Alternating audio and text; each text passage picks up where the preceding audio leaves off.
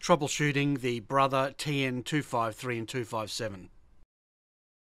When you install a new TN253 or 257 cartridge and you get a prompt cartridge error, replace toner or no toner, you might want to check a couple of things first.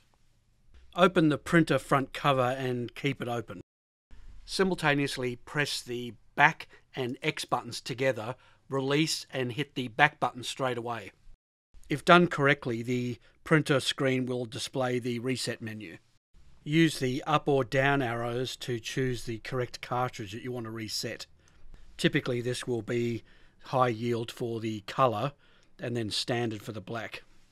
Usually you only have one choice on the black, but there will be two choices on the colour. HC means high capacity, STD means standard capacity. On the screen, choose yes to accept the reset you'll then get a message that says accepted. And then close the front cover and hit the back button to bring the printer back to normal. Further troubleshooting. If you get a no toner message, you might just want to also just check the physical gear on the cartridge to make sure it's in the full position and not empty.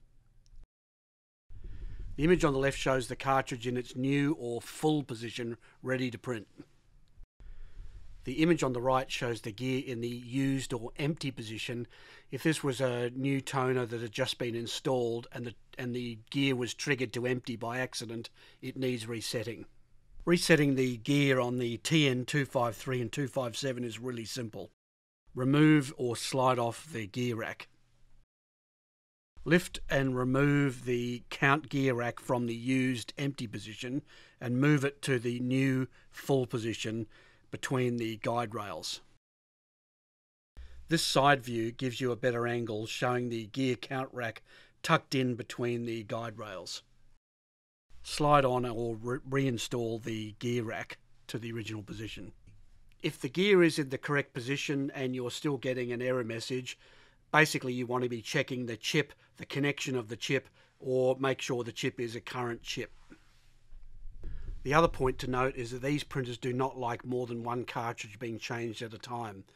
If you do need to change more than one at a time and you get error messages and you know that the gear's in the right position and the chip is new or current, then you might want to turn the printer off, take the power cord out, leave that off for at least 15 or 20 seconds, power it up again and just see if it'll go. That quite often seems to fix the problem. By taking the power cord out, the printer is dumping its memory of what cartridges are in there and it forces the printer to reinterrogate the chip and look at the cartridge to reset itself. A low toner message does not mean change the toner.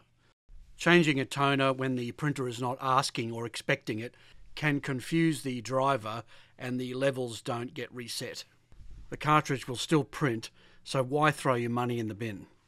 If you have changed more than one toner and you have an issue, put the old toners back in and then change them out one at a time, only the ones that you really need to change. And don't forget, inside every box there's a full reset instruction sheet covering both the LCD models and the touchscreen models. Thanks for watching, and remember if you have any issues, always contact your local reseller quickly and they will be able to get you out of trouble. ECO Advanced, leading the way with the latest chips and the lowest failure rates.